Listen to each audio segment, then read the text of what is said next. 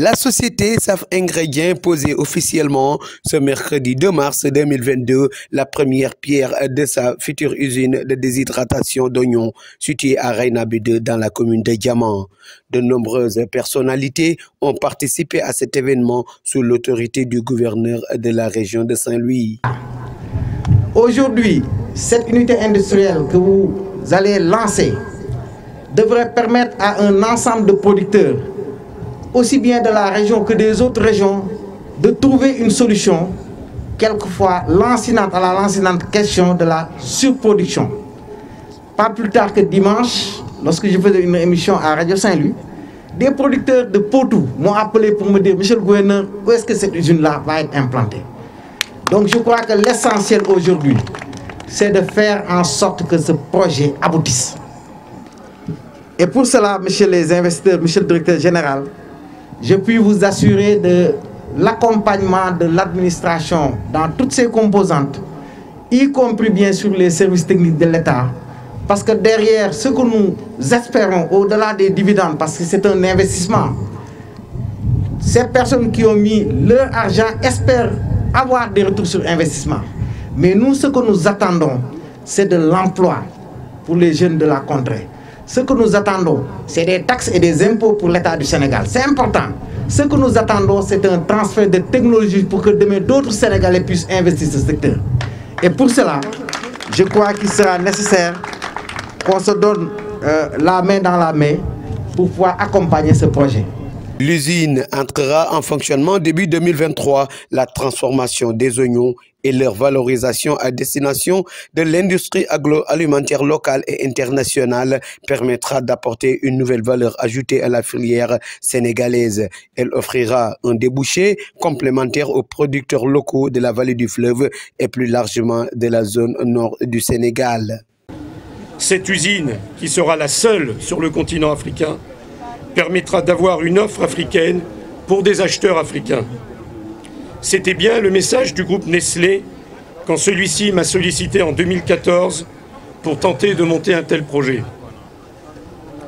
Souvent, l'offre africaine est peu compétitive sur son propre marché et continue à être concurrencée par des produits extérieurs.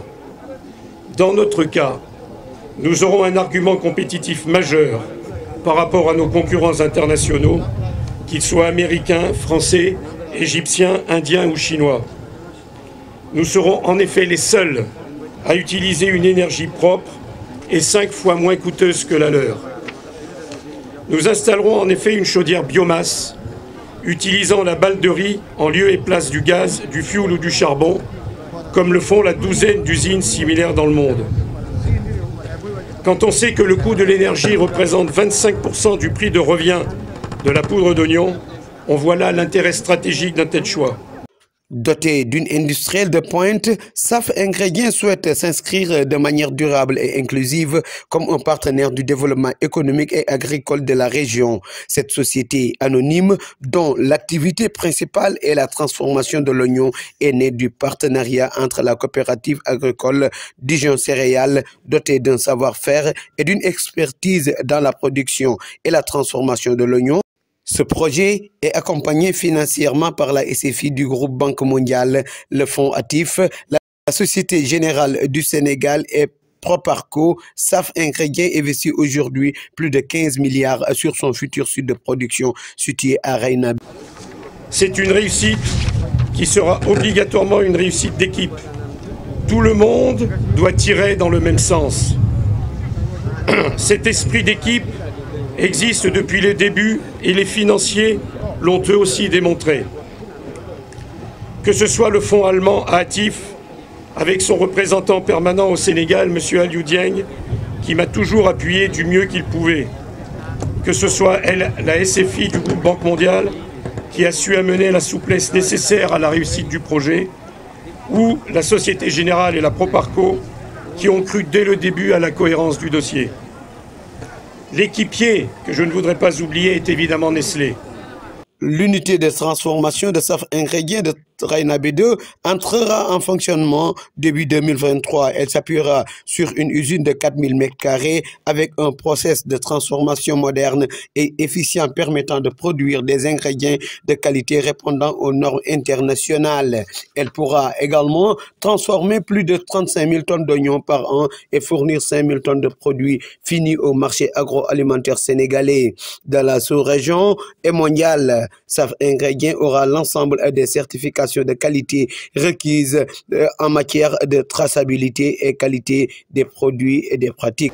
Qui trouvera dans cette usine la concrétisation de ses souhaits et une source d'approvisionnement valorisant la filière et répondant largement aux critères d'exigence qui sont les siens. Mais avec les meilleurs équipements qui soient, une entreprise ne fonctionne qu'avec les hommes ou les femmes, également les meilleurs. Nous serons donc très exigeants sur la qualité des personnes qui seront recrutées et qui le seront d'abord et avant tout pour leurs compétences et leur engagement. Nous avons déjà recruté notre directeur, Jonathan Michaud, qui aura cette lourde tâche de recruter lui-même tous ses futurs collaborateurs, qui seront tous sénégalais. De leur côté, les maires de Diamant et de Rosbecchio ont salué la pertinence et l'importance de ce projet qui, selon eux, constitue une autre impulsion sur la politique de l'emploi des jeunes. Et pour revenir de ce qui concerne cet investissement important qui est de 15 milliards,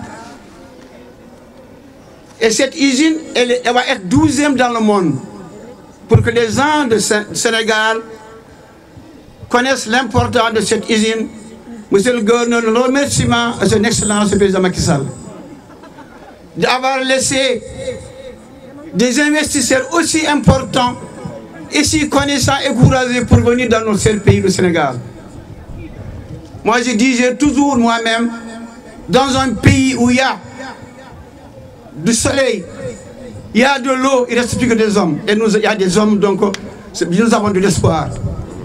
Et cette usine est tellement importante mais l'importance de notre présence aujourd'hui, c'est vraiment la pose de la première pierre d'une industrie de transformation de l'oignon qui fut une préoccupation très importante de son Excellence, M. Macky Sall, président de la République du Sénégal, mais aussi une préoccupation des autorités administratives de la région, une préoccupation des autorités locales de la région, en premier chef, le maire de Rosbetchou que je suis.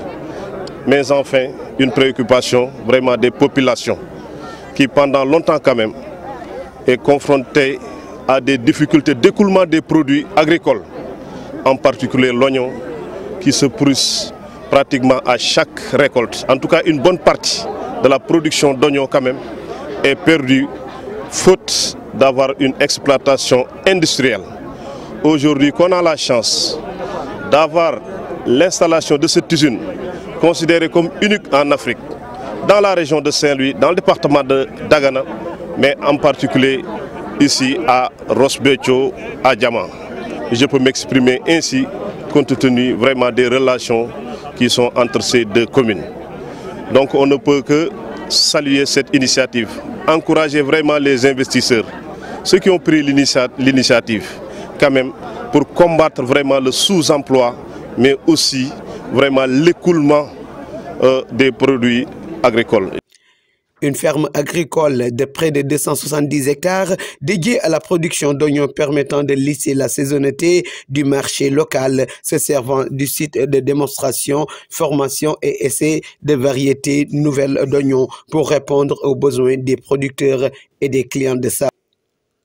Ce projet doit également générer plus de 60 emplois directs et de très nombreux emplois indirects et retombées économiques sur le tissu local.